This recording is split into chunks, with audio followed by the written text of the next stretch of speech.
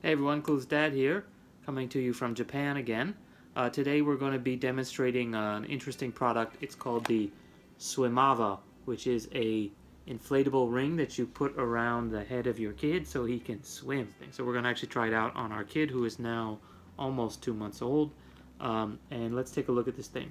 So first of all, it's actually from the UK. It says here, uh, designed in the UK, made in China, assembled in China. Um, and uh, it was about 30 US uh, here. And so since it's a Western product, but in this case specifically marketed to Japan, actually says it has a Japanese language guide and all the info on the back here is in Japanese. So this one is actually made for anything from zero years up. Um, and uh, they actually have a, a, larger size, but here it says this is regular size, uh, and this is up to 11 kilograms or 18 months. So I guess we could keep using it for a while. So let's take a look inside. So it comes in this zipper case, I guess, so you can reuse it um, between baths. And first of all, so it comes with a small pump for inflating it.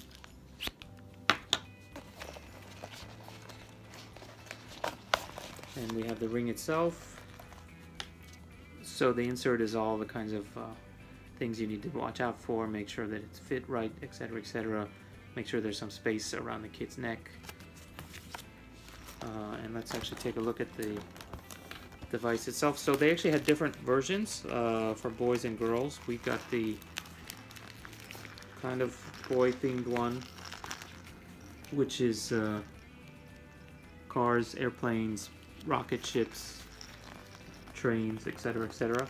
Um, so it's basically a ring with uh, a cutout for the kid. I guess it goes around the kid's neck here. There's some vinyl straps, which click on the top and bottom.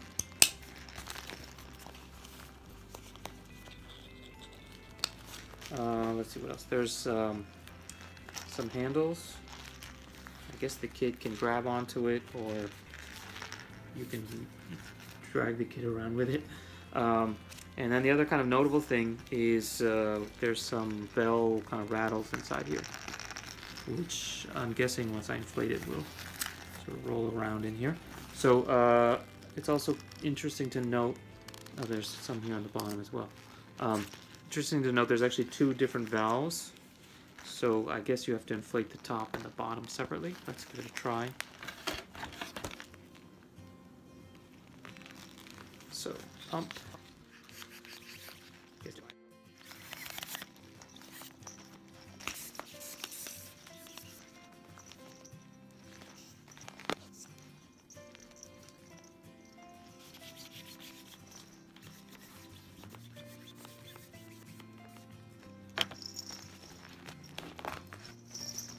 Okay, so here we go. I hope you guys had fun watching that at high speed. Um, so this is what it looks like inflated. Now you can see the balls rolling around. Uh, while I was inflating it, uh, I noticed a couple of interesting things. Uh, first of all, um, it is a separate top and bottom compartment uh, for the air, which I guess is good because it's fail-safe in case one of them pops. Your kid's not going to sink. Um, again, keep in mind that this you know, at least in this case, it's being used in a swimming pool, so, um, you know, it's a little bit further to the edge than maybe if you're just using it in a uh, bathtub. Um, and uh, only took a couple minutes to pump up, um, saved yourself some breath from having to do it manually. Um, the other interesting thing is it says here in English on the bottom, do not lift infant with the handles. On the other side it says here, handles are for infant use only. So I guess the kid's wearing it like this and then he can put his hands up here. Um, I guess like this actually, I should say.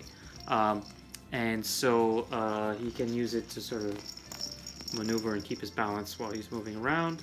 Um, the other thing is this is actually the chin rest here.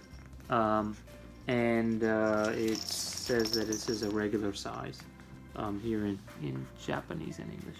Um, it actually also says uh, never leave your infant unattended in water, which obviously makes sense. Uh, stop using immediately if infant's chin slips below the chin rest. So if your kid's head is not big enough to stay on the top side of here, or his neck is too skinny, I guess, and he can slip out, obviously stop using it because there's a chance he could sink or start choking or get himself stuck. Always check for any air leak prior to use. Obviously makes sense. Um, got some audio visual feedback here with the balls going around. Um, looks pretty cool. It's uh, pretty decent even with the thing unlocked, uh, un unstuck. It's not leaking unless you unless you squeeze, so that's good. It's a little bit safer.